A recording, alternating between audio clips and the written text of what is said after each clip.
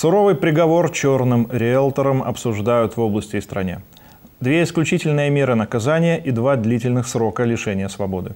Четверо, и среди них женщина, признаны виновными в убийствах шести человек и покушениях на убийство еще трех. Преступники убеждали собственников квартир продать недвижимость, а после этого расправлялись с ними. Пока неизвестно, будет ли обжалован приговор Могилевского областного суда. Ожидается, что будет. Подробности громкого дела расскажет Наталья Ильинич.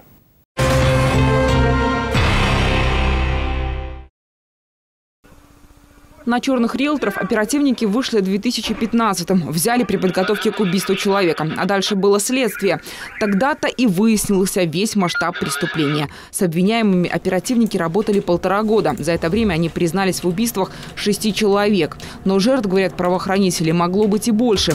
Уголовное дело насчитывает 71 том. По делу прошло 400 свидетелей. Судебные слушания длились 8 месяцев.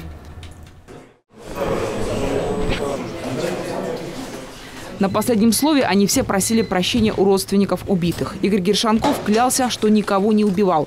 Семен Бережной просил суд не лишать его жизни. А Татьяна Гершанкова расплакалась, уверяя, что не убила ни одного человека. Борис Колесников целиком и полностью был не согласен с обвинением. Обвиняемым были создан, был создан конвейер смерти, который существовал на протяжении нескольких лет – с четкой распределением функций и ролей каждого участника преступной группы. Игоря Гершанкова и Семена Бережного приговорили к смертной казни. Татьяну Гершанкову к 24 годам колонии общего режима. Бориса Колесникова к 22 годам строгого режима. Имущество у всех фигурантов дела будет конфисковано. Суд достаточно взвешенно, ответственно подходит к назначению этого наказания и если есть какие-то сомнения в виновности лица, ни расстрельный приговор, ни любой другой приговор обвинительный постановлен быть не может. Действует принцип презумпции невиновности, в силу которого все сомнения толкуются в пользу обвиняемого. Здесь иной случай. Вина каждого из четверых в преступлениях доказана. Убивать людей ради корыстных целей был их бизнес. Супруги Гершанкова нигде не работали, жили за деньги, полученные преступным путем. Обманывали людей с квартирами, за что в 2010-м были судимы. А выйдя на свободу, принялись за старое, но с куда большим размахом. Как вы, вас, как вы рассчитывали воспользоваться вот этой вот ямой? Для чего ее надо было копать? Ну, чтобы Юру там позаправить. Родного? Да. В связи с чем? В связи с тем, что мы захотели забрать деньги. Своих жертв преступники искали среди одиноких людей с задолженностями по коммуналке. Входили к ним в доверие и убеждали продать свое жилье, чтобы переехать в квартиру поменьше и подешевле. А когда те соглашались, обвиняемые начинали готовить могилы своим жертвам. Помогали оформить документы на продажу квартиры, а дальше ехали в лес отметить сделку. Бережной сам не пил. Вот. Он э, делал вид, что пил, э, отставлял э, с налитым спиртным стаканом. В тот момент, пока человек находился без сознания под действием алкоголя и клофелина, ему одевали на голову полиэтиленовый пакет, сматывали руки и ноги скотчем, клали в гроб и хоронили.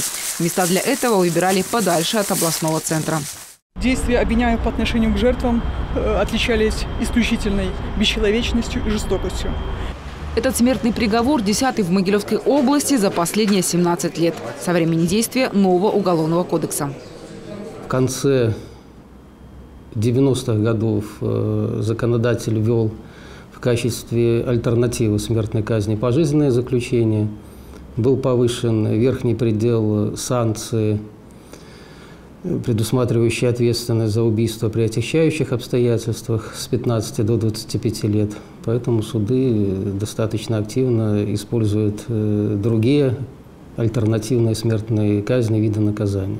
До этого последний раз исключительная мера наказания была применена в 2013 году. Тогда к смертной казни приговорили человека, осужденного за двойное убийство. Уже отбывая наказание в тюрьме, он задушил сокамерника. В 90-е годы смертных приговоров было больше. В ранее действующем законодательстве смертная казнь была предусмотрена и за коррупцию, и за валютно-обменные операции.